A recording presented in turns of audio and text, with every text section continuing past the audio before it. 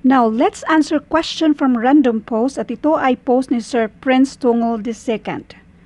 Patulong po with explanation. I think galing ito sa civil service uh, reviewer, I don't know. Kasi parang nakita ko na to dati na reviewer. Gawin na lang natin itong, ito yung part 1 natin sa video ito. Tapos sa next na video ay sagutan din natin itong tatlo. Basahin muna natin. A student must choose four subjects out of the pool of eight subjects. Elementary algebra, intermediate algebra, plane geometry, statistics, advanced algebra, calculus, anal analytical geometry, and trigonometry. Given that elementary algebra is selected, if trigonometry is selected, calculus is selected. If calculus is selected, analytical geometry is selected. If intermediate algebra is selected, analytical geometry is not selected. Number 6. If trigonometry is selected, kung iselect daw si trigonometry, which of the following four subjects must be chosen? Balikan natin ito.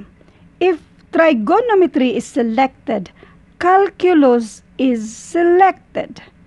Sa five choices, hanapin muna natin na merong calculus. Kasi sa choices, lahat sila merong trigonometry. So, yung may calculus. Ang may calculus dito ay ito at ito. So, si 1, 2 at itong choice number 4, eliminate na natin.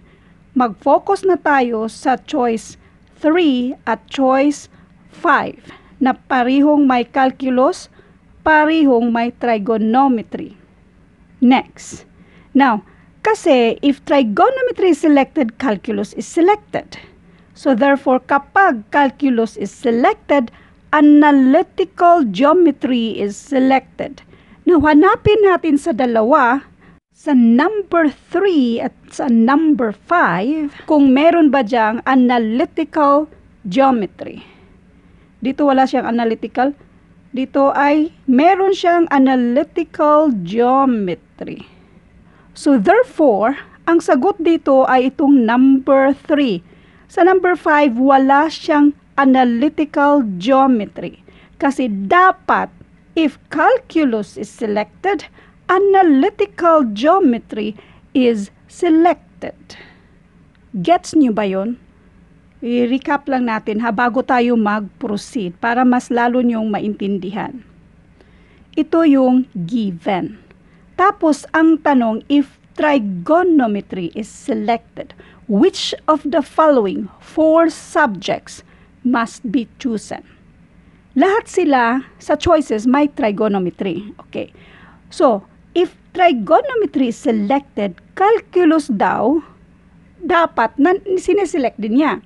So, kunin natin yung mga subjects or kunin natin sa choices na may calculus. Dalawa lang ang meron sa choice uh, dito sa number 3 at itong choice number 5, may calculus. At pareho silang merong trigonometry.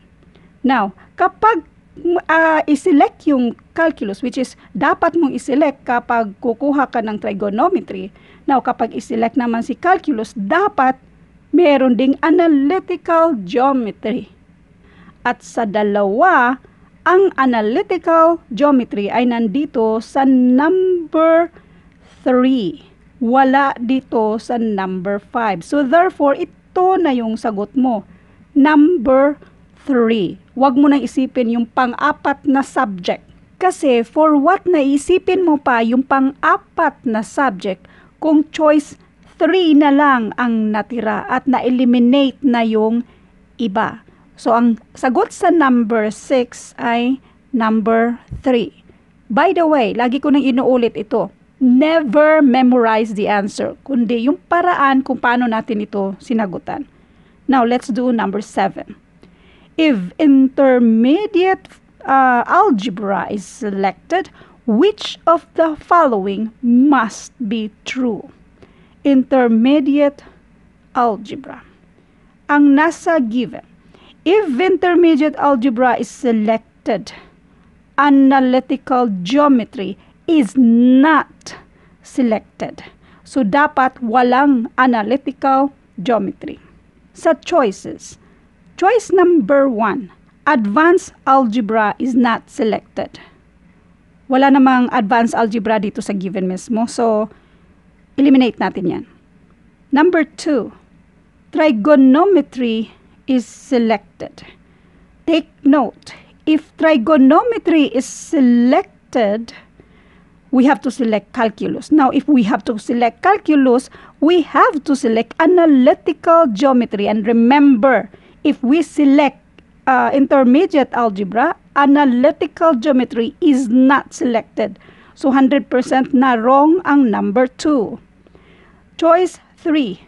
Calculus is not selected. So, kung calculus is not selected, andito is calculus is selected hanggang kung mag-select kasi, ka kasi ng calculus, dapat may analytical geometry. Now, if calculus is not selected, of course, wala ring analytical geometry. Therefore, this is acceptable or this sentence is true. Basahin muna natin yung number 4. Statistic is not selected. Hindi naman yan naka-mention. Plain algebra uh, geometry is not selected.